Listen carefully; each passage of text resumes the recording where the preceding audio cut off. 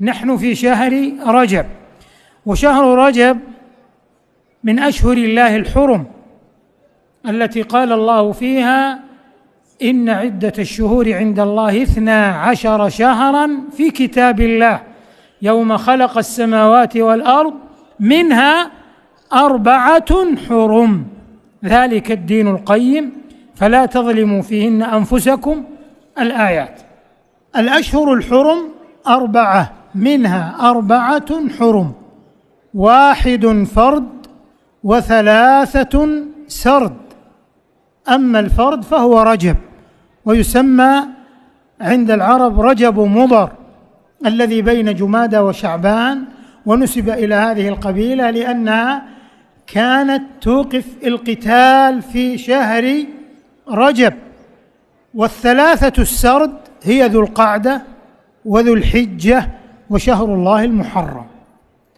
هذه في الإسلام لها مكانة لها مكانة عظيمة حرمتها قديمة. حتى أهل الجاهلية كانوا يعظمون الأشهر الحرم والأمكنة الحرم. هذه مكانتها. قال الله عز وجل فلا تظلموا فيهن أنفسكم. يعني يجب على المرء أن يتحرز عن الذنوب والمعاصي في كل الشهور وفي هذه الأشهر أشد وأعظم. وإذا حصل من الإنسان قصور فليبادر بالتوبة والاستغفار. شهر رجب عند أهل السنة والسلف الصالح رحمهم الله ليس له مزية وجود أعمال خاصة فيه كما يظن بعض الناس.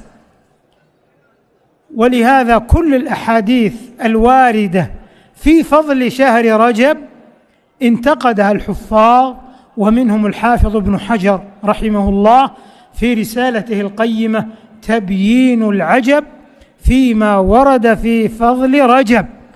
وأفاد رحمه الله أنه لم يرد في فضل شهر رجب حديث صحيح ولا حسن بل ولا ضعيف يصلح للحجة. فلا يبتدع فيها الإنسان بدعة أو يرتكب أمورا محدثة يخالف ما عليه السلف الصالح رحمهم الله. وإنما يجتهد في العبادات يتحرز من المعاصي لمكانة هذه الأشهر وخصوصيتها عن غيرها. هذا مختصر المنهج الصحيح فيما ينبغي أن يكون عليه المسلم في شهر رجب.